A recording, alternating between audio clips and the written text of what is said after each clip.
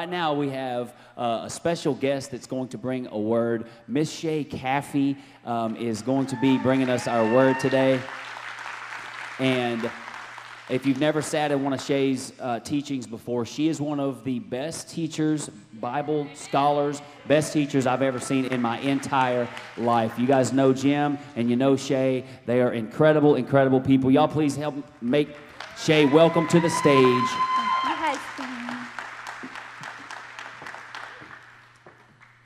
Amen. Hey, Amen. You're on. Hello. Hello. Let me pray for you really quick. Lord Jesus, we love you. We honor you. We praise you. Have your way in everything that she says in Jesus' name. Amen. Amen. Take it away. Hello, everybody. So, for those of you who don't know why I'm wearing these, I had some eye stuff going on, and so these are my notes. I have flashcards. So, I am so excited to be here today. I'm going to attempt to see if I can take. I cannot. Okay, a little bit too bright. Um, first of all, welcome, Revive. It is so good to be here. You have no idea how good it is to be here. Um, we've been through some seasons, and today's worship service was exactly what, um, yeah, the Holy Spirit knew. So, I first of all just want to thank Pastor Shannon for letting me speak. And uh, it's going to be a little bit different for those of you who have been, excuse me, who have been in any of my classes. This is not the norm today because I can't see to read. So this is going to be a special treat, hopefully, for all of you. And uh, the, the teaching is called, there we go. The teaching today is called A Dash of Salt. Hi, husband.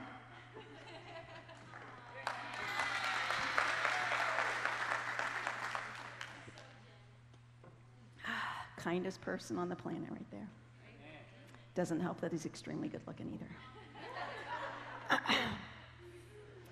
so I'm going to start at Matthew 5:13 and it basically says you are the salt of the earth, but if the salt loses its saltiness, can it get its saltiness back?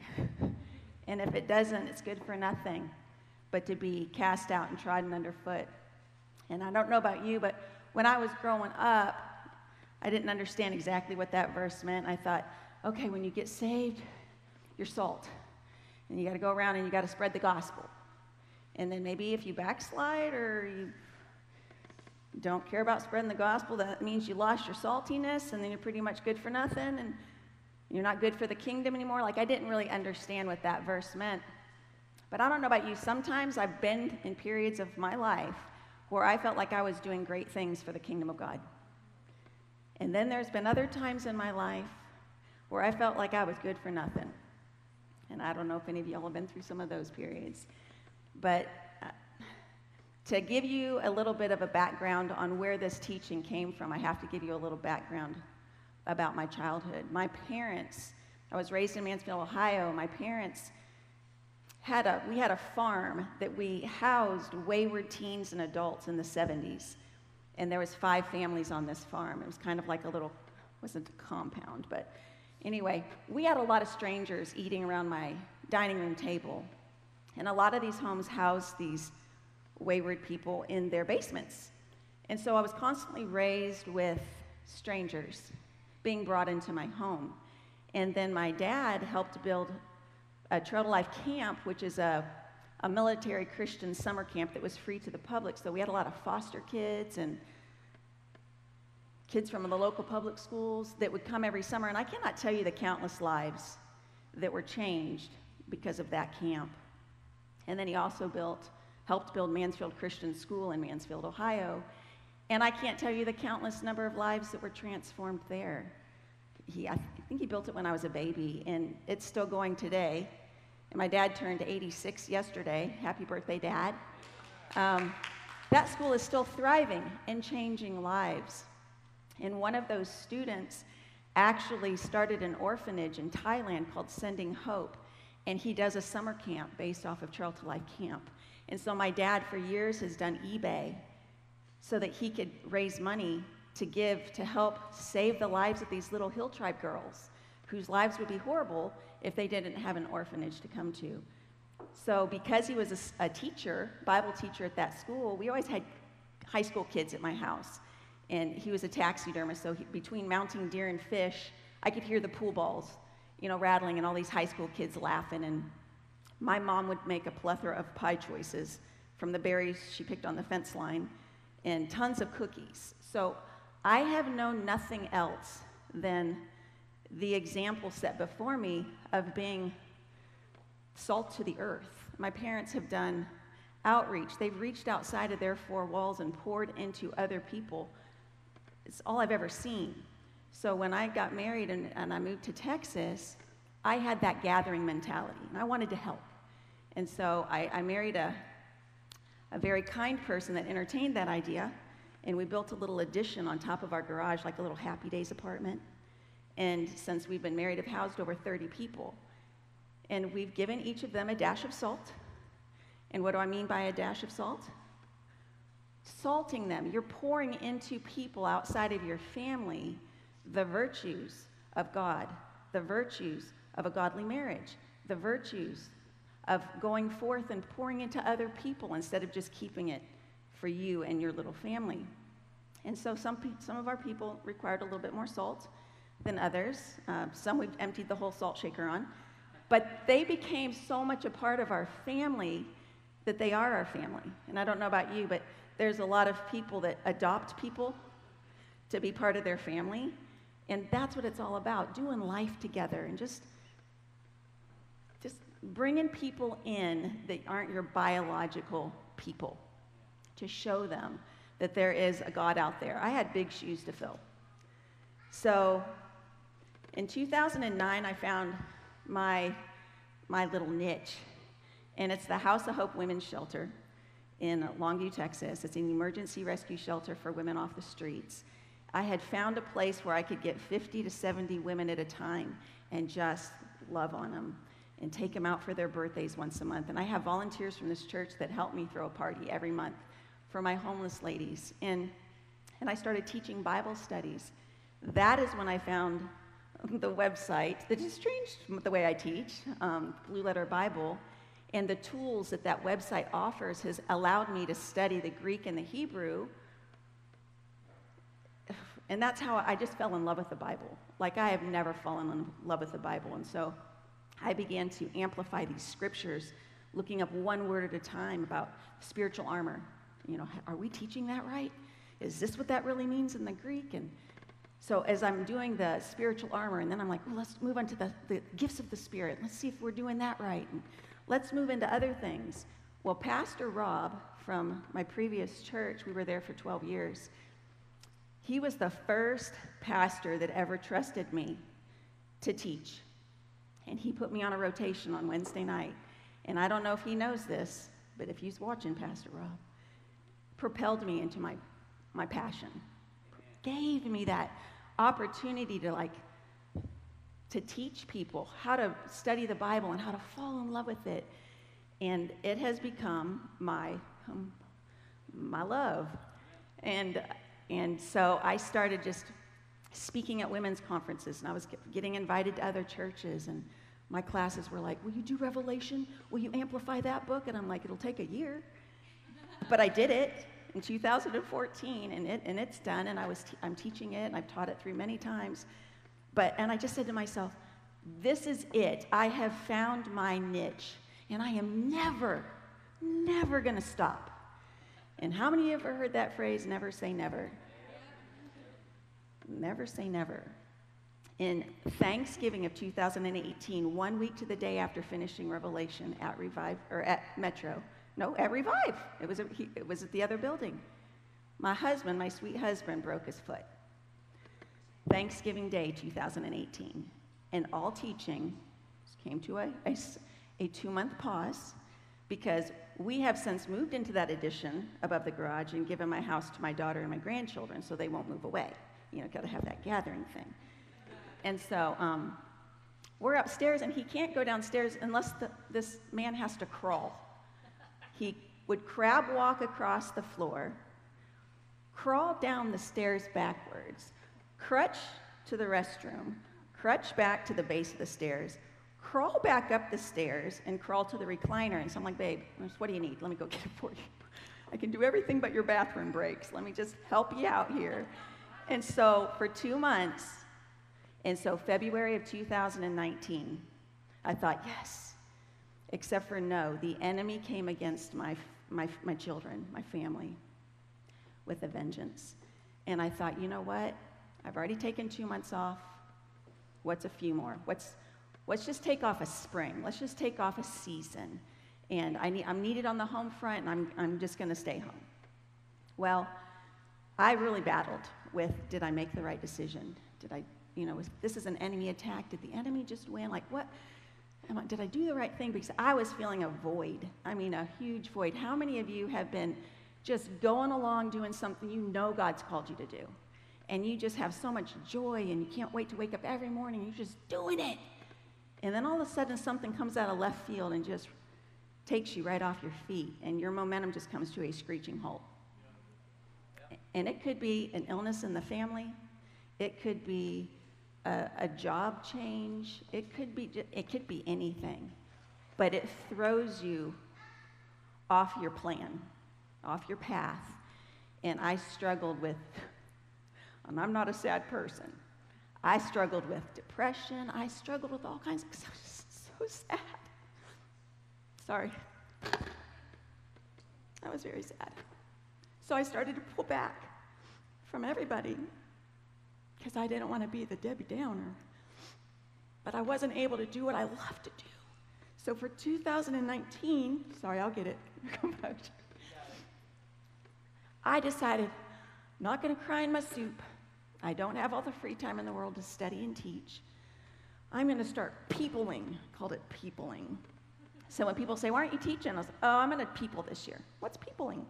Oh, it's where I get together with people instead of sitting in my corner studying all day. And so I would try to get together with one on one ladies for like coffee and then, you know, tr- inevitably try to talk about the Bible. And uh, so I peopled for 2019 while I dealt with crisis in, in the family. 2020, and, and at the end of at the end of 2019, I kept telling Jim, we had a three month break where things seemed to like let up. And I had the best three months at the end of 2019 than we've had in the past year. And I said, Jim, something bad's coming. I feel like the Lord's given me a little break, the calm before the storm. I could feel it in my spirit. I just didn't know what it was. And I was like, what could get worse than 2019? On me birthday, when our family's coming back from Branson for our spring break trip with my daughter and the grandchildren, we get a call. You, you better pick up some toilet paper while you're in Branson because there ain't nothing in Longview. And I'm like, what? Oh, there's no toilet paper. There's no water. There's no whatever because COVID. Well, in Branson, they hadn't started shutting stuff down yet. We were still going to the shows. They were starting to limit the amount of people that could go in. And I'm like, what in the world? Why toilet paper? Anyway, you come home to Longview and it's like on lockdown. So I would, at least in 2019, I could teach once a week at the shelter and people. 2020, everything in my life changed like your guys' lives. You're holed up in your house, you're watching people all around you die. I've never had so many people in my immediate circle die um, you don't know what's going to happen. And it was just an, a whole year of no peopling and no teaching and crisis in the family. And I thought, Lord, what? I just don't even know what to do here. And, and you, just, you just trust. Like the, you know, it's like it's the giant. It's like I've got to face this giant. How do I face this giant?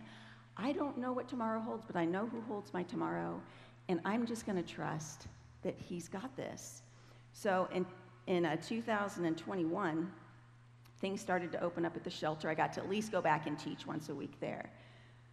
But 2021 was still a year of peopling. And I was really like, oh, because the crisis was still the crisis.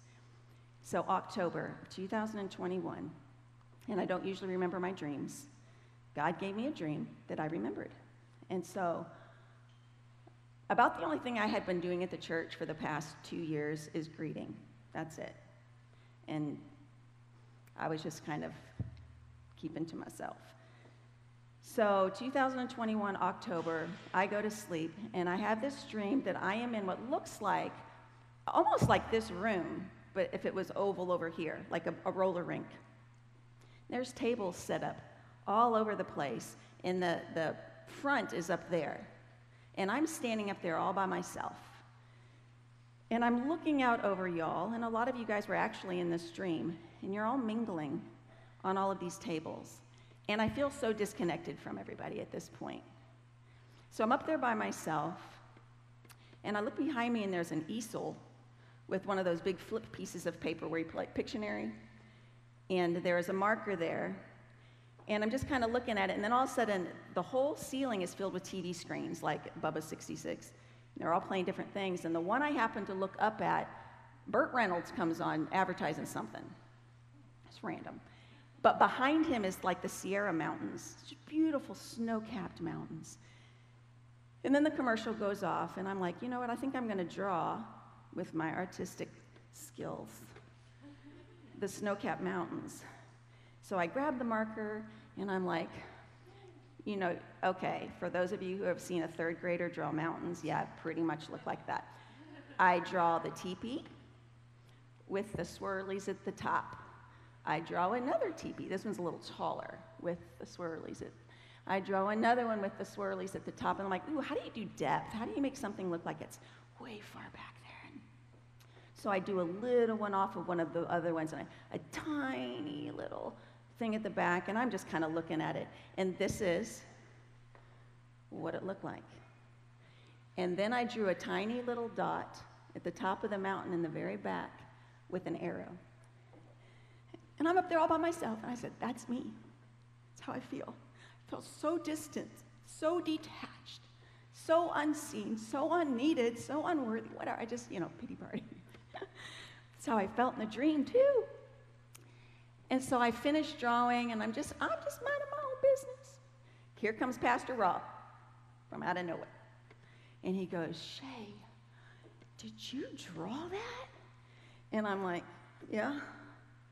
And he's like, Oh my word, I have never seen anything like that before. Where's a microphone? And I'm like, What are you doing? What are you talking about? And he goes and he grabs a microphone and he's like, Can I get everybody's attention, please? Well, everybody just look up here. And I'm like, What are you doing? And he goes, Shay just drew that. I have, Shay, I had no idea that you had that kind of talent. You have got to keep drawing. And I'm like, what? I'm so embarrassed. Y'all are staring at me. I turn around and the picture is gone. And what has taken its place is something like this. Now, I don't know if you can see color. I cannot. It looks like it's black, but that thing was pink. I can't draw it, so I had to take a picture of something like it. Was the most beautiful little pink elephant with little purple polka dots on her and she was, it looked like Dumbo's girlfriend. And she was turned over her shoulder like this with just this little smirky smile. And I'm, I'm looking at it and I'm like, oh, I didn't draw that. and uh, I need to let everybody know that I didn't draw that because they're going to expect me to be able to draw that. And so I, I take the microphone. I said, Can I have that microphone, please? Get the microphone coming. And I turn around and I start to look more closely at this pink elephant. And what I see is it is made up of tiny little objects. Well, I remember a pink blow dryer. I remember the little roulette wheels were purple. That's what was the polka dots were tiny little roulette wheels. But it was a mosaic. And I don't know if you guys have ever looked up close at a mosaic, but it's just a bunch of rock crumbles in a mess until you step back and you see the Mona Lisa. Now I really know I can't do that. I'm like, there's no way. And so I turn to explain to you guys, I didn't do that. And every man in the room is gone, and it is only the women that are left. And I start to say, y'all, I didn't, I didn't draw that. And I'm thinking, how do I explain what I'm looking at up close? And I said, you, you ladies remember like in the 90s, those posters that had all the little speckles and like you stared at it and like crossed your eyes a little bit and then all of a sudden the 3D image came out, and like only three of you raised your hands, so I was like, okay, can't use that analogy. to let them, like, what I'm, and I said, I did not draw that. This is what I drew. And I start drawing my little mountain thing. And I said, that's what I. And when I turned again after I finished drawing, I'm in a locker room.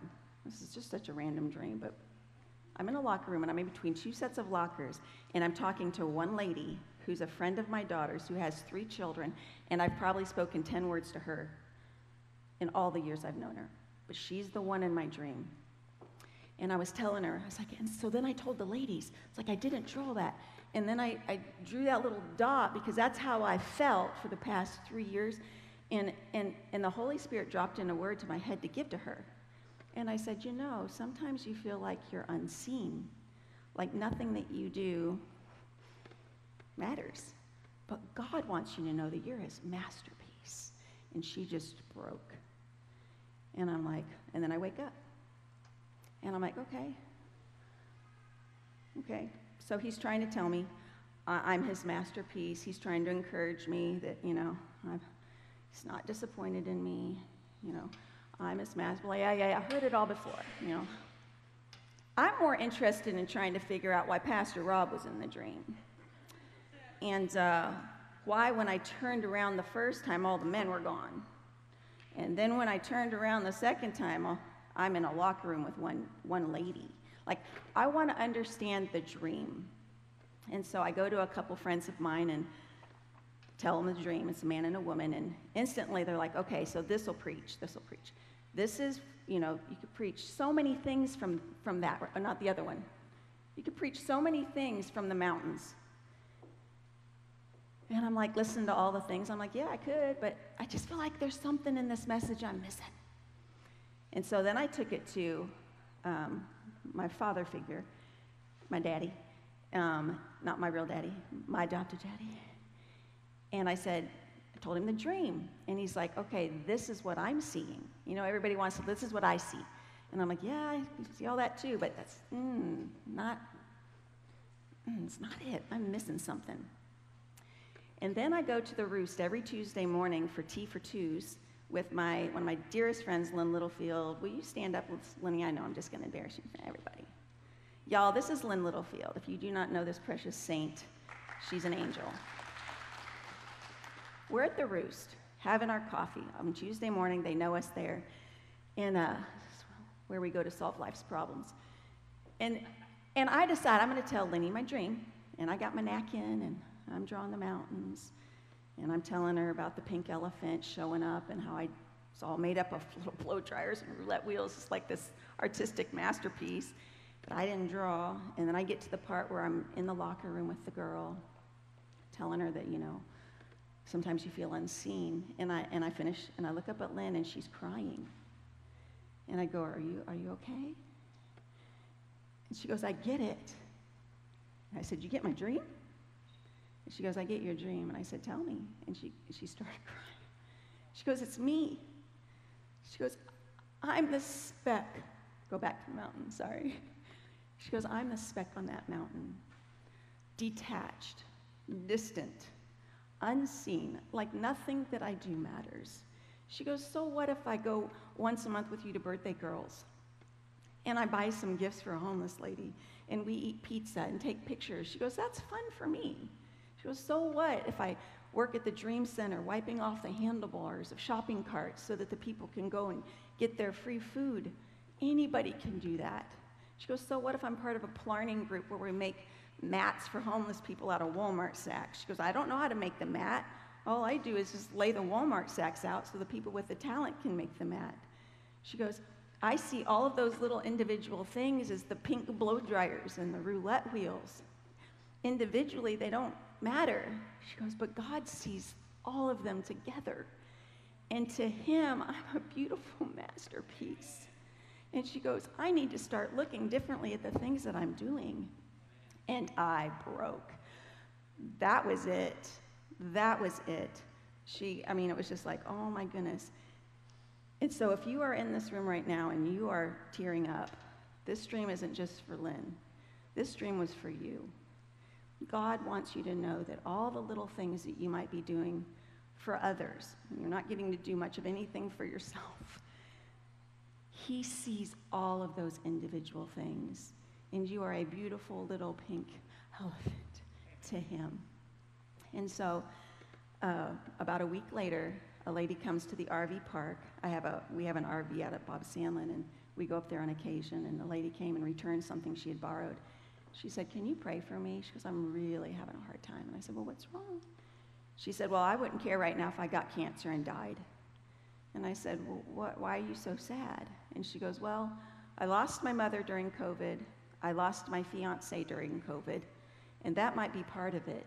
She goes, But I've had to sell my mom's house. I've had to move into an RV out here. I've had to switch cities, switch jobs. I have no friends. She goes, My daughter had to come out of college. She's living with me in this trailer. She goes, I just thought at this point in my life, I would be so much further along.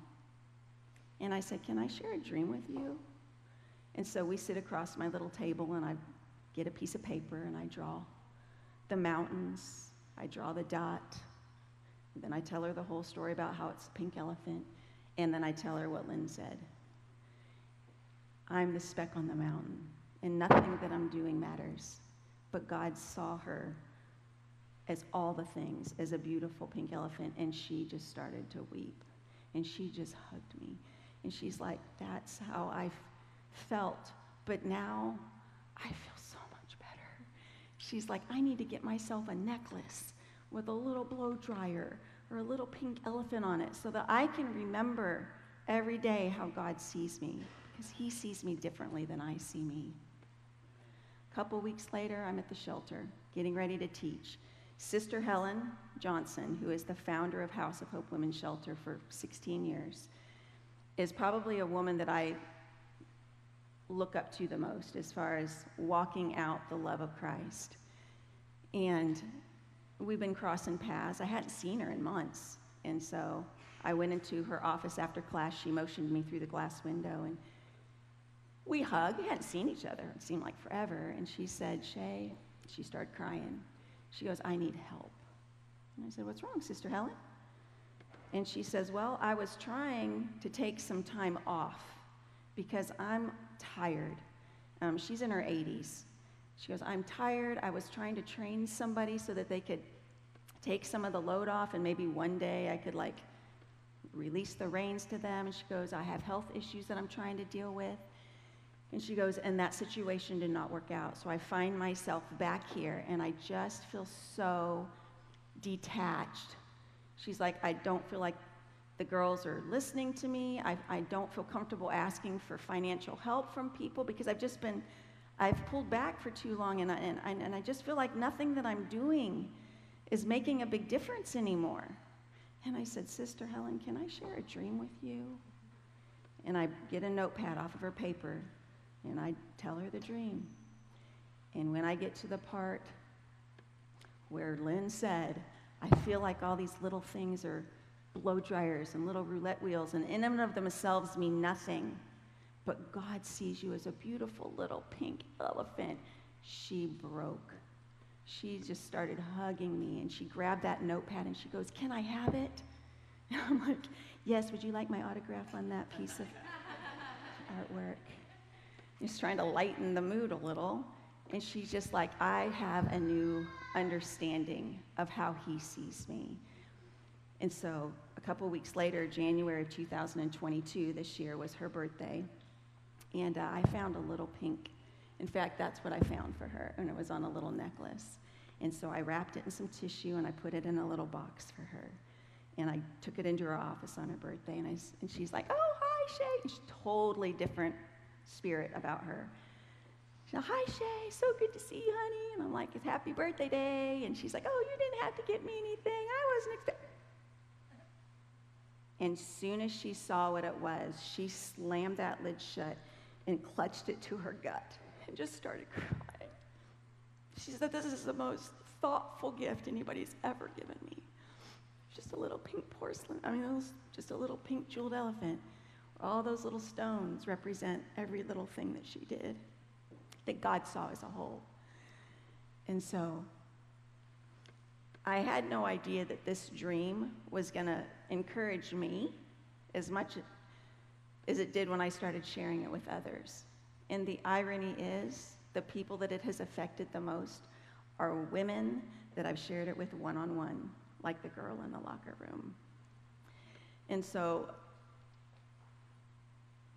I thought the dream was for me to get me over the frustration and the feeling like I had disappointed God. I thought the dream was for me. Then I realized actually the dream was for me, but not for what happened in the past three years, being like MIA. He gave it to me because he knew what 2022 was going to bring across my path. January 2022, Daddy Bob and Miss Rethia, if anybody knows Bob Gamble and Rethia Gamble, um, they're very special people to the people in this church that have been here for a long time. They're like our parents. We've adopted them. And Rethia's been battling paralysis from her feet that moves up to her legs, and she's gone to doctors, countless doctors, hospitals, rehabs. Everybody tells her they can fix her, but it just keeps getting worse to the point where she's wheelchair bound with very er, little movement in her legs. And Bob was desperate, and he's like, I'm getting her into UT Methodist. But I need Jim and you to follow me over there because I can't get her in and out of the car into the wheelchair. He's got a bad back. So January 4th, we follow them to UT Methodist, and uh, we sit in the emergency room for eight hours with tons of COVID patients. I don't know what we expected anything different to happen to us, but um, so a couple days later, she's finally in the exam, or actually it was eight hours later, they put her in an exam room, then waited a whole nother 24 hours to do anything with her. So Jim and I are in a hotel across the road waiting for, you know, are they going to give her a room? What's, you know. So we went into the hallway. We're waiting for the doctors to come out of her room. Daddy Bob comes out and he says, They have just diagnosed Rethia with ALS. Now, that was not what we expected, and I'm just thinking, how did, why did it take so stinking long? Two years for somebody to figure out what's going on with, with mom. Like, ah. So they put her into a room, and they're going to try to get her into the ALS rehab, which is down the street. Might take a couple days. So during these couple days, Daddy Bob is staying with her, and Jim and I are in the waiting room.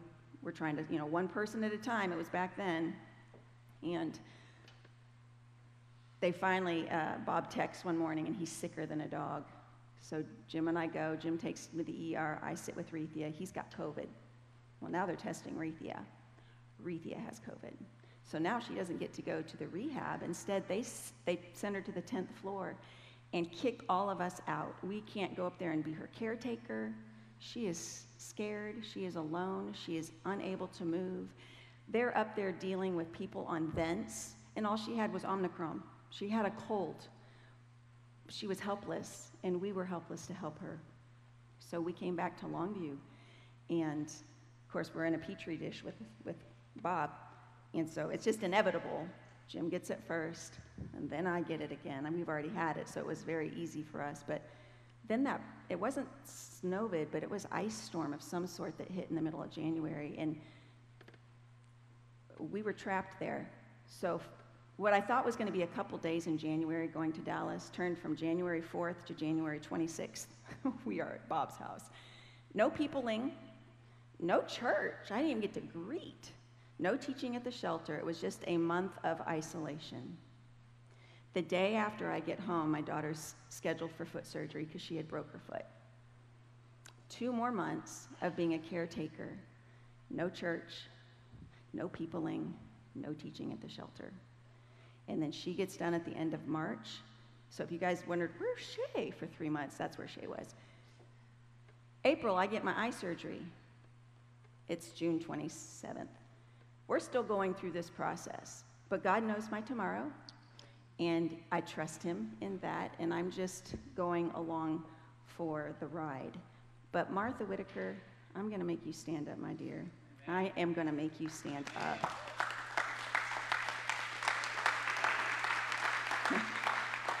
um, she deserves a standing ovation, but I'm just saying. This woman has been my seeing eye friend, I call her. She literally, she drives me to the shelter every Monday morning so that I can still do the one thing that I love to do. She reads my revelation notes, and I'll be like, oh, Okay, so this is, blah, blah, blah. okay, go. And then she reads some more. She makes it possible for me to teach. And then she drives me to the grocery store. She, she drives me anywhere I need to go. She brings me to church. Um, she drops me where I need to. I mean, just my husband's been at flight school for a month. So I just wanted to say thank you to you for everything that you have selflessly done for me. A dash of salt to you, a masterpiece. A masterpiece to God. I am allowed to take these off in dark rooms, but there's no outside light, but these lights are, I'm so used to being in my, my goggles that it's hard for light. I do want to tell a couple things on Martha, though. Um, she is a widow on a fixed income. And as I've gotten to know her, I realized that when God made her, I think He broke the mold. I don't know that I've ever met anybody quite like her. Selfless to the utmost. So she has fixed income. She's got this little RV that she used to rent out for extra income. And when one of her sons had a friend in his 20s that was an addic- addict, um, needed a place to stay, she let that 20 year old boy stay in that RV for free until he could get on his feet and get clean. And he is now married, has beautiful children, is doing great, and credits Martha for changing the trajectory of his life. She talked a family member out of getting an abortion, and that baby's a teenager now. In 2016, when her son needed a place to live with, and I'm going to try to get this right, Miss Martha. Her son had a wife, five children, one grandchild, four dogs, four frogs, two lizards, two fish, no, two birds, five fish. Anyway, there was no room in the RV for all that. Zoo. She lets them move into her house. There's no room for Martha. So she moves into a shed in the back of her yard. It's a craft building, an 18 by 24. That's a shed. No running water, no toilet. She has to go across the yard for that. Now, since they have built her a bathroom and a shower in a closet, but selfless, she still lives in it, guys, so that people can have a home in which to live. So last year, her grandson, grown grandson, got in odds with his daddy and needed a place to live, and he wasn't going to stay at daddy's house. She comes to the rescue. What does she do? Guys, what do you think Martha does? He moves into her shed and sleeps on a couch at the foot of her bed until he can get a job and get on his feet and get things back together. Well, he is since now married to this gorgeous woman right down here, Ty. He's got a job, and it's all, and he feels her love because she came to his rescue, and there was nobody there that he felt like for him. She will help anybody with anything. The church, I don't know, she's here all the time working at the church. She would just do anything for anybody. Jody and Courtney Clements, are you all in here? Will you stand up? Sorry, calling you guys out too. A tree fell on. This is Jody and Courtney. Get a good look at their faces. Hang on. These two are salt shakers. Stand up. Tree fell on her house, smashed her fence, and she had no idea how she was going to be able to get it paid for and get it removed. Jody finds out, gets his chainsaw, comes to her house, cuts up the tree, stacks the wood, fixes her fence, and doesn't charge her a dime. Why? Because it was a dash of salt to him. Amen. It was a miracle for her. And it was a masterpiece to God. They have a ministry here called 2020 Vision Ministries where the whole purpose is to go out into the to the towns around us and do random acts of kindness for people. I can think of no greater that the Lord is just smiling with every act of kindness that you guys do and the team that you get together to do those things. I don't know if Myra Kobe is here today. Myra, are you here? Nope, not here today. Um, Myra Kobe, Shannon and Amanda were going through a season in the 2020 COVID. Uh, she had COVID and she got it in her lungs. So she's isolated in a room, and Shannon just got back from back surgery. He's isolated in the room, separate. They can't even take care of each other. And Amanda said that one day Myra called her out of the blue and just prophesied over her Ezekiel 37, 5 through 10, and said, Read this, read this. The Lord told me to give this to you. And Amanda said that, you know, she's reading it out loud. She just began to weep because she knew that the Holy Spirit was just speaking directly to her body, her soul, and her spirit. And uh, verse 5 says, And the sovereign Lord says, I will breathe my breath into you, and I will bring life. I will bring life back into you. And she goes, And I just clung to that. And Myra has no idea that her obedience that day really helped strengthen her faith.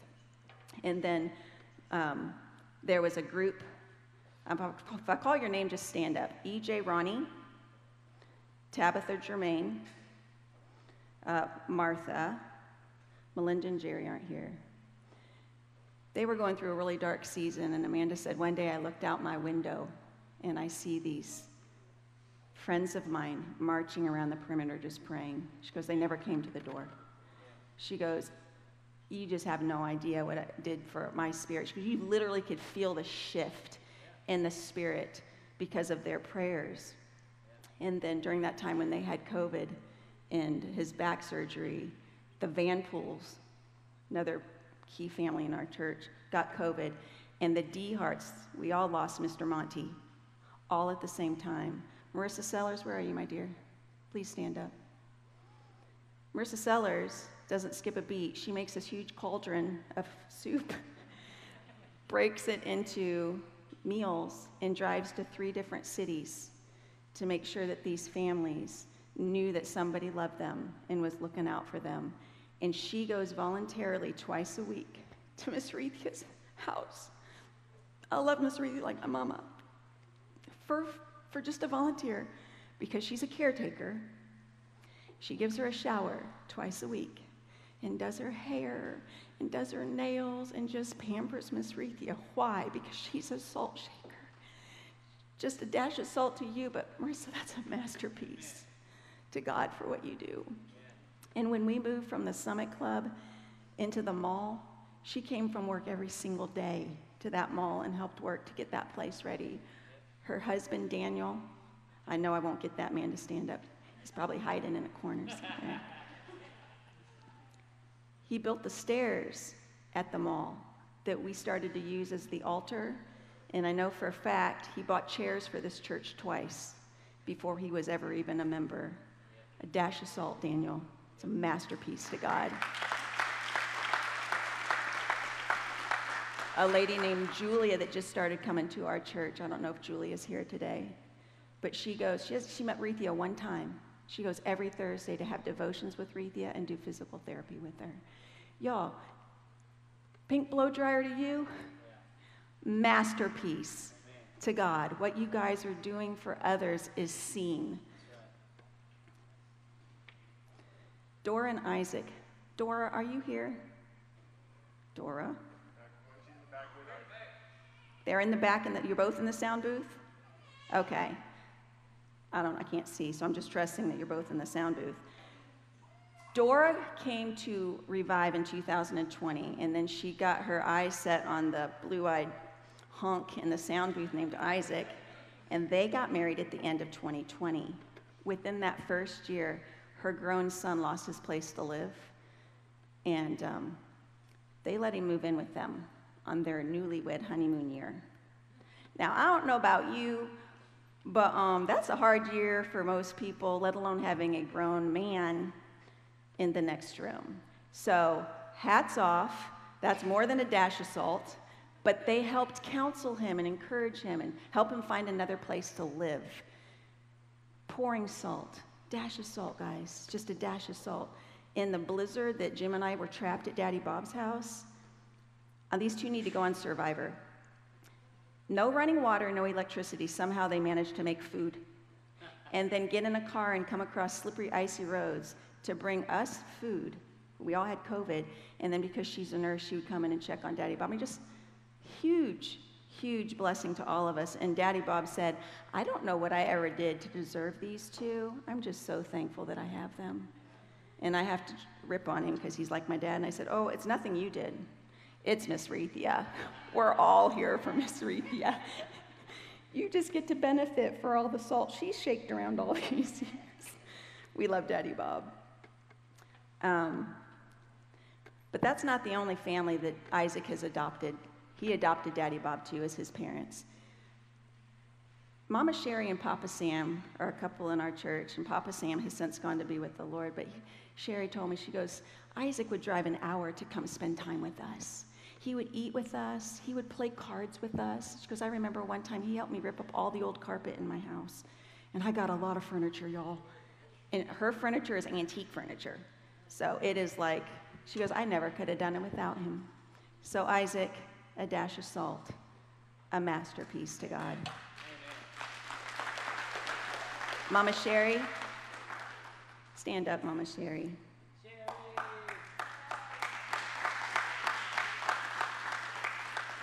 Mama Sherry is one of the strongest people that I know. She reminds me of my mother.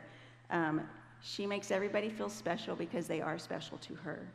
Um, she's given me a standing invite to come to her house and watch time travel movies and play with her kitties when Jim's out of town because she knows I love those two things.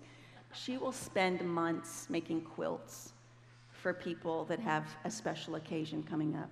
She spent years doing a food ministry out of a van that she bought where she would just get food and just take it out to people. Uh, she moved two granddaughters in with her when they were in their 20s and going through that rough stage, led both of them to the Lord. One of them was so radically transformed that when they moved back in with their mother, the mom didn't even recognize her. And that girl has since married her high school sweetheart, has two beautiful grandchildren, and is doing great. Attributes the change of the, her life and says, uh, She just loved me through those years when I didn't have anybody's love. That was Mama Sherry. She just is a salt shaker. And Mama Sherry, one day I'm going to make you a shirt. If anybody has a silhouette or a Cricut, just going to give you an idea right now. It needs to say on the front, there she goes. And on the back, it's going to say, just shaking her salt shaker.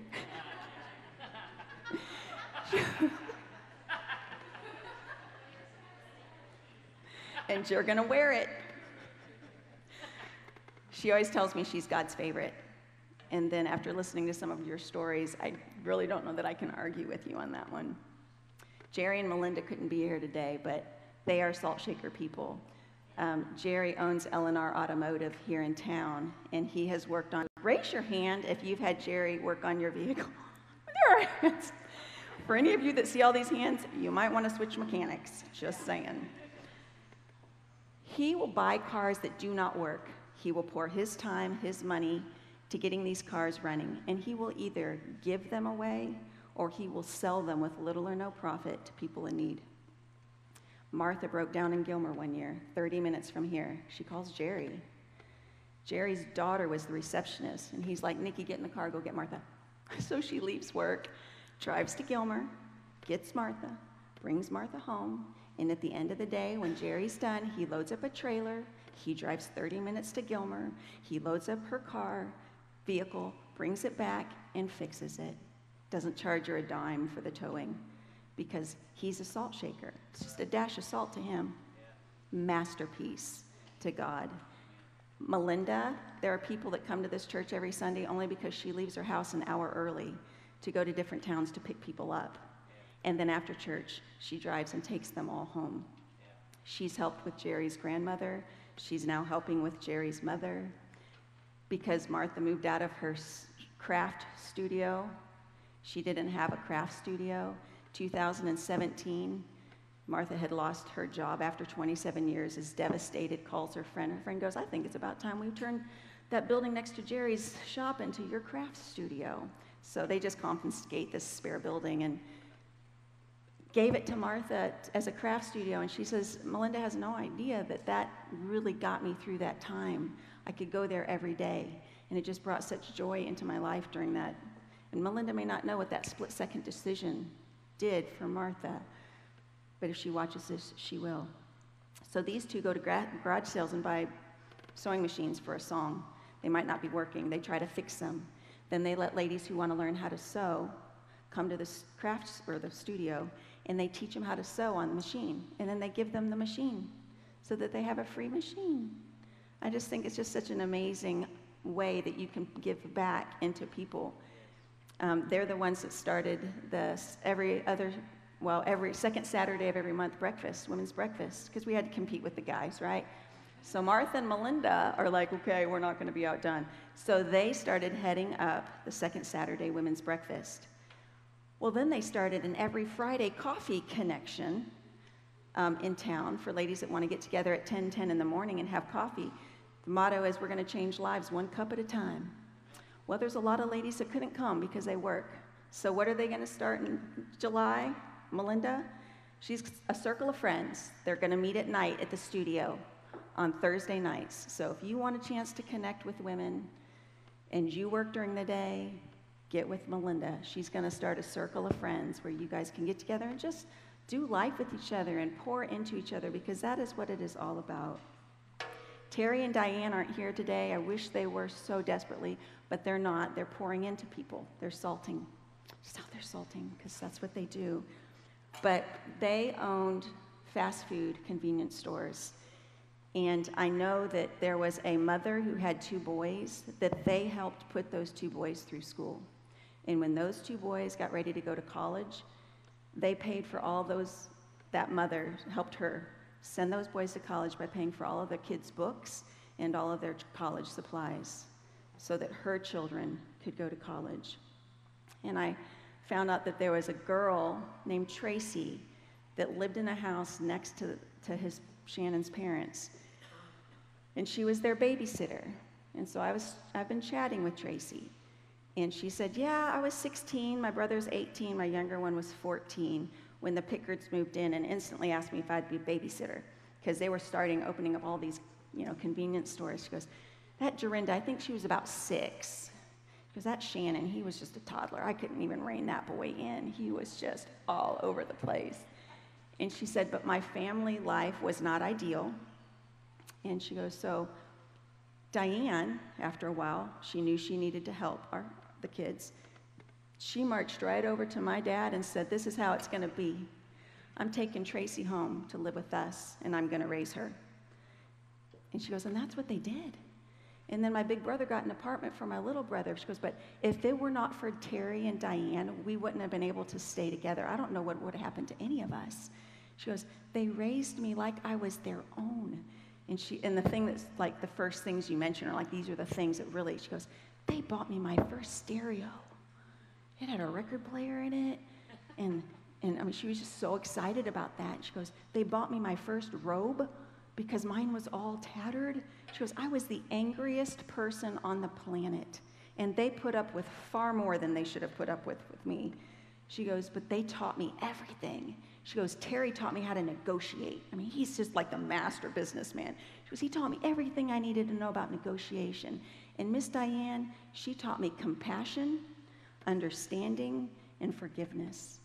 And she goes, in all those years, she never said one negative thing about my parents. And I'm so thankful for that because I really looked up to her and she could have tainted my opinion. And she never said one negative thing. She goes, and when it was time for me to get married, they threw my wedding in their yard and it was perfect. It was beautiful. She says, but the one thing that I think I remember the most that they taught me was what it looked like when two people that love each other, what they could do to help children. She's, they showed me what that looked like. And so that was what I was going to say, you know, to, to Diane and Terry if they were here today. But I wanted you guys to know that Tracy just sent me a text last night. She goes, please, please, please, don't forget to tell Terry and Diane. Thank you for giving me a safe place to sleep. Y'all, there's a lot of people in here who have given other people a safe place to sleep. And you need to know that might have been a dash of salt to you. But that was the last thing she wanted me to thank them for. Giving her a safe place to sleep. Last but not least, Shannon and Amanda, I'm going to call you guys out. Would you stand up? I'm sorry. I think you guys might know who they are.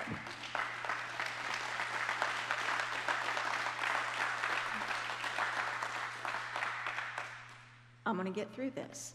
In 2015, the Lord began to speak to these two about stopping everything that they were doing in their lives and starting a church called Revive. And they used to meet at the Summit Club restaurant where they had to rent out every Sunday a bunch of different rooms so that they had classrooms for the kids and a bigger sanctuary for us. They'd load up a U-Haul hours and hours early, get up there and set up all the stage, and then after service, spend hours and hours tearing it all back down, loading it in a U-Haul and taking it home. They opened up their house so that we could have Wednesday night Bible studies in their home. And then when he found the mall, the bounce house, then it turned into months of extensive rehab, just putting their lives on hold so that people pouring into people, dash of salt here, dash of salt there, masterpiece to God. So then we move into this, our forever home, maybe. Um, and it needed to have lots of stuff done because this used to be like a, a go karts and it was an amusement park, basically. And he became the general contractor. Well, that's not his strong suit. No. But he's he's trying to save money and do what we can do with the hands and feet that we have. So if you helped in any way with the revamp of this building, would you just stand up real quick? Anybody that helped, stand up.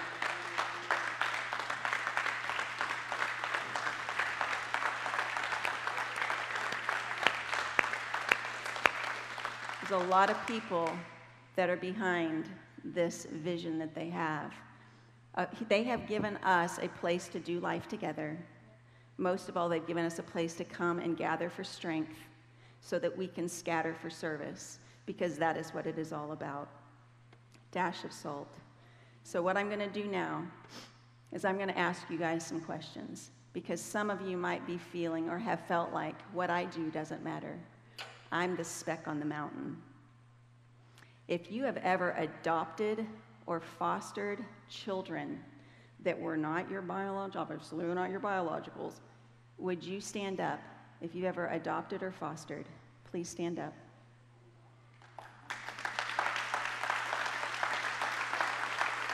Keep stand, just stay up.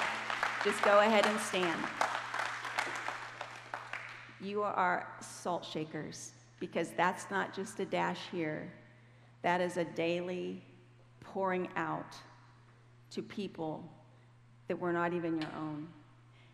If you have ever let somebody move into your house for any length of time that was not one of your children, I want you to stand up. Oh, my word. You gave people a safe place to sleep when they needed it most. If you have ever given money to anybody in need, would you please stand up? And the rest of the church. My dad is 86. He no longer can like do eBay. So what does he do now to help raise money for the orphanage in Thailand? He goes into his basement where he has hand cut trees, soaked them in some concoction in a bucket, gets on his lathe, makes homemade birdhouses that look like giant acorns, adorable, sells them online to give the money to the orphanage in Thailand. He is still salt, salting the kingdom. If you have ever given clothes to anybody that needed clothes, would you please stand up? If you've ever visited anybody in jail, nursing home, or the hospital, will you please stand up? If you've ever prayed for anybody that needed prayer, will you please stand up? When you've done it unto the least of these, my brothers and sisters, you did it unto him. You may not have a stage and you may not have a title, but let me tell you, you have a ministry. You are the salt of the earth. Amen? So I'm going to end with a poem. You can sit down. Thank you all. I'm going to end with a poem that sparked the whole title, A Dash of Salt, and it is called The Dash.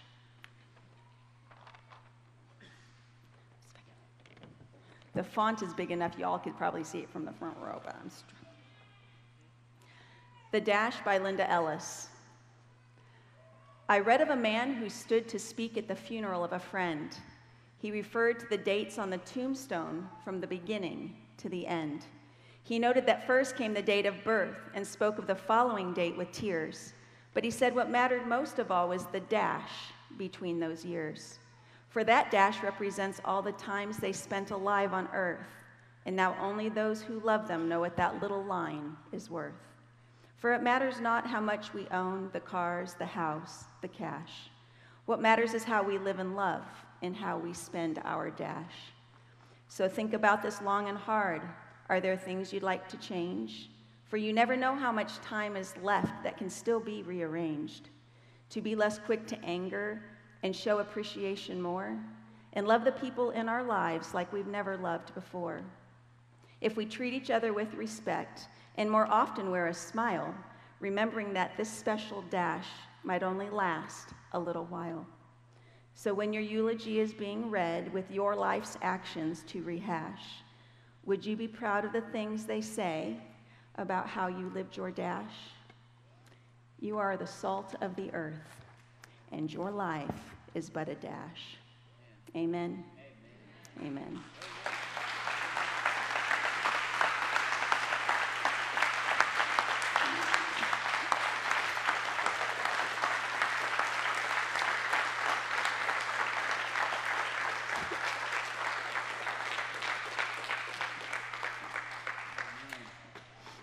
Thank you. Thank you for letting me preach. You're welcome for letting me preach. Um, uh, this might have been a blessing to you to let you preach, but I think I speak for everyone in here. You just blessed our socks off. So thank you so very much. Thank you, Shay, from the bottom of our hearts. Thank you so very much. Jim, thank you so much for sharing your wife with the rest of us, for encouraging her, and for, uh, for dashing salt on her and watering her with the word uh, like you guys do. Um, well, you guys, thank y'all for, for uh, allowing the Holy Spirit to move today, um, to extend praise and worship a little bit, uh, to stay a few extra minutes and let this message be watered on all of you um, or be dashed on all of you. What a fantastic, incredible message, Shay. Thank you for being obedient to the Lord um, when He gives you a dream, for not just forgetting about it by the time lunch gets here, but for seeking God and figuring out what is God trying to tell me, and how what a blessing it was that you sought that out for all of us. When you seek God, it's not always just for you; it's for the dash of salt that you have. I love it's a dash of salt to those folks or to you, but it's a masterpiece to God. And I don't know about you guys, but I certainly feel like that little blow, dryer or roulette wheel all the time. Very, very good to be reminded God sees all that little stuff as a masterpiece. Man, what a great message. You guys, one word that came to mind when she was sharing all of those people, the word that came to my mind was church. That's what church is. And I don't, I don't mean, you know, Revive Church or Life Bridge Church or, or uh, Gateway Church or Grace Creek or whatever. I, I mean the body of Christ. That's church. What she just described is exactly how church ought to be. We don't play church here at Revive Church. We are the church here at Revive Church. Amen. Thank you guys for being the church and for dashing the world with, with your salt because we got some flavor here at Revive.